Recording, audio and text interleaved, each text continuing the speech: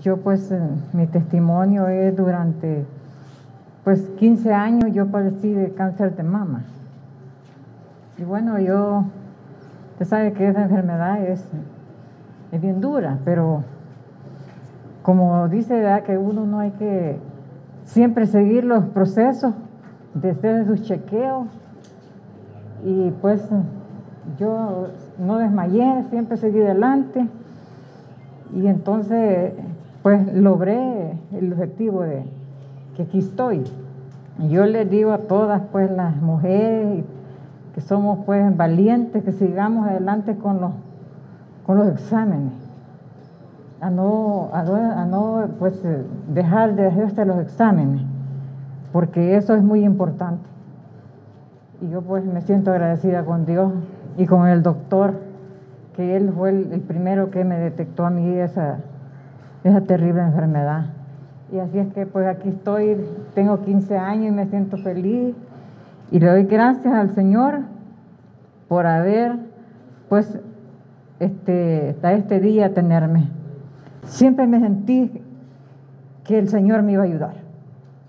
Sí, siempre me sentí y siempre, mire, mis tratamientos nunca las dejé durante 12 años.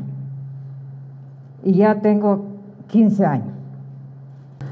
Eh, decirles de que este caso y, e invitar a todas las guerreras para en este día de la lucha internacional contra el cáncer a que tenemos un testimonio aquí claro, sobreviviente, ya 15 años y sin ningún tratamiento.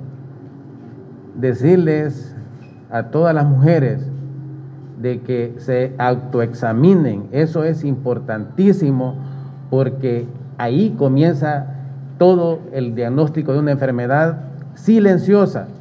El cáncer de mama es silencioso, no duele, no se siente y cuando apenas, apenas tocamos, ahí está una masita, un nódulo y eso pues es para correr a visitar eh, a una unidad de salud, a un centro de salud, a un hospital o a su médico de confianza.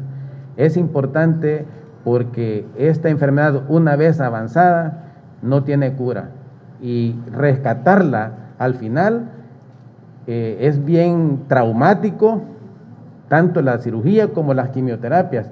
Por esa razón invito a todas las mujeres salvadoreñas a que se autoexaminen y consulten, que se hagan sus mamografías, sus ultrasonografías periódicas.